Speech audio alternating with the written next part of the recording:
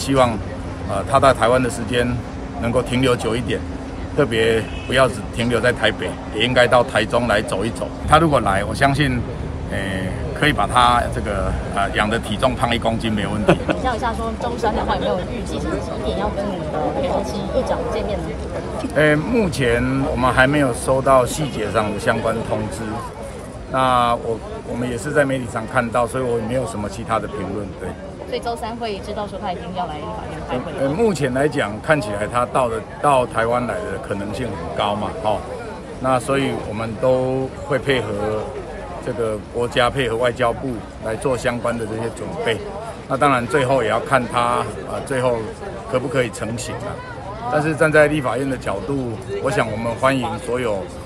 这个对台湾友善的这些国际的贵宾，那我想佩洛西议长长期以来支持台湾、支持民主，特别对人权议题的关心，我想大家都是有目共睹。那佩洛西议长的发言，呃，对于台湾多所肯定，也表达强烈的支持，所以他绝对是呃立法院的贵宾，绝对是台湾的贵宾，所以我们会呃竭诚热诚的欢迎这个呃佩洛西议长的到来。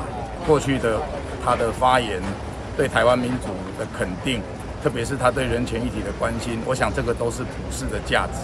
那特别是他，呃，在议长任内，这个啊通过也好，支持台湾的言论也好，我想这些都是呃台湾很珍贵的这个友谊的表现。所以我第一个会代表台湾来谢谢他，啊对台湾的这个支持。那我第二个我想呃表达是。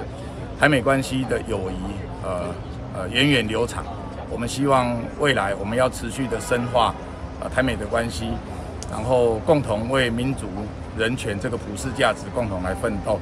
那第三个，我当然很希望，呃他在台湾的时间能够停留久一点，特别不要只停留在台北，也应该到台中来走一走。我想台中这个呃市民朋友也都会很欢迎他。那台中有那么好多好吃的东西啊，所以应该他有机会可以到台中来看一看，来来来走一走。我我来亲自当地陪哦，来陪他这个呃游遍台中。对，好。可以邀请他来台中吃什么东西？哦，很多台中的这个霸丸啊，清水的米糕啊，然后我这台中美食对，还有我们的珍珠奶茶，这个我想都是很有特色的食物嘛，哈。所以他如果来，我相信，诶。可以把他这个呃养的体重胖一公斤没有问题。